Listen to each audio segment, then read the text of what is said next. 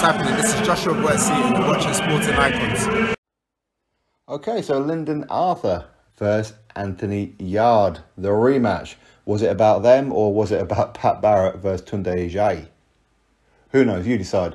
Now, this fight, I like Lyndon Arthur. I've always liked Lyndon Arthur. I think he's got skills to burn. He's got a tremendous heart. He's got an excellent jab, excellent footwork. He's got a lot going for him. He really does. But in this rematch, I don't know what it is, what his game plan was. As I said before, it seems to be that the whole build up was about Pat Barrett versus Tunde Ajayi. It's almost like the shine was taken away from the fighters. And I don't necessarily blame Tunde Ajayi. I think Pat Barrett, not that he was intentionally doing it, but I think that he was eating from his own plate, from his own hype.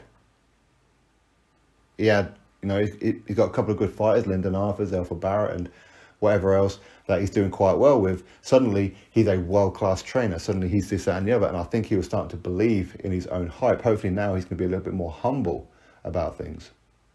Because, I mean, I've met Pat Barrett, I've interviewed him. Um, he, he comes across as a cool guy. But at the same time, what was the plan? What was the game plan with Lyndon Arthur?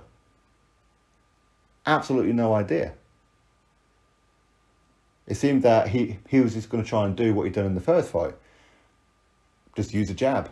Throw the overhand right once in a while or straight right once in a while. But when Anthony Yarde came out in round number one and just put it on him, I think something happened to Lyndon Arthur. I think something inside went, uh-oh. I think he panicked, to be honest with you. I think that's what happened. I don't know what advice was given to him in the corner after each round. Okay, the fight only went four rounds, unfortunately, for Lyndon Arthur. But I don't know what the game plan was. I genuinely don't know. Because he, he just seemed to just put up his gloves and allow Anthony Yarde to throw punches. It's one thing to do that when you're a little bit deeper into the fight, when maybe Anthony Yarde's punching power isn't as strong as what it would be earlier on. But Anthony Yarde is still fresh. In the first couple of rounds, he's going to be fresh.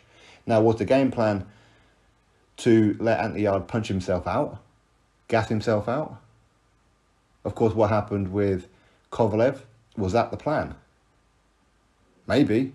If it was, it, then it backfired. That was a wrong game plan, for sure. It could be a good game plan if Andy Yarde can't land on you, but he was landing on him, and he landed on him um, a couple of times. And I said, I think something happened to Lyndon Arthur inside where he panicked. He did panic. Now, up to this point, of course, Anthony Yarde, he backs up Lyndon Arthur. Again, Lyndon Arthur, I don't know why he just was like static with his back against the ropes. I, I don't know why he did that. He's got good footwork. He can get out, out there quite easily. Of the many fights that I've seen him in, he can get out of that position. But he didn't because he backed up and he wasn't hurt when he backed up. Or at least he didn't look like he was hurt. But he just let Anthony Yarde just throw punches. And they were getting through. Anthony Yarde was a little bit wild, a little bit reckless. He was there to be counterpunched, but something that Lyndon Arthur didn't really do.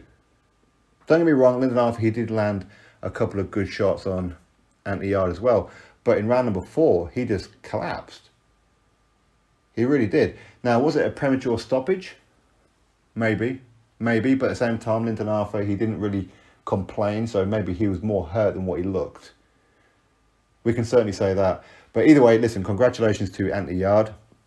He took that loss to Lyndon Arthur and he bounced back from it. That's what you do. You look at it, you assess it, and you bounce back. Should have happened immediately? Yeah, arguably. Is it unfair that it happened in London? Maybe, maybe. But again, you have to look at it. As much as Pat Barrett, and uh, Pat Barrett told me before that he's very, very good friends with Frank Warren. This is Anthony Yarde. Don't think for one second that Frank Warren didn't want Anthony Yarde to win. Of course he did. Of course he did. I don't care what his friendship is with Pat Barrett. He wanted Anthony Yarde to win. Anthony Yarde is somebody who's quite popular. He's got a decent name about him. You've got his trainer eh, and manager in Tunde Ajayi. Again, he's got his own um, podcast with Spencer Fearon for Stamina for Sale, all that kind of stuff. So they've also got like their own brand. That's important to Frank Warren. It is about numbers. It is about ticket sales. It is about that. So, of course, he wanted Anthony Yarde to win. But Lyndon Arthur, he did get the win first time round. Should he be able to have the right to have the rematch in Manchester, his home, his hometown, his home city? Of course. But that is what it is. Maybe the occasion got to him. Maybe.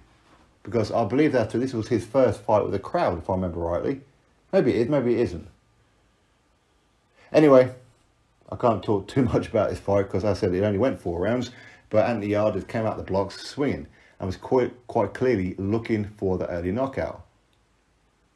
Ultimately, it came, so congratulations to Anthony Yarde. Very good performance. His game plan was right. Put it on him. At some point, one might land through.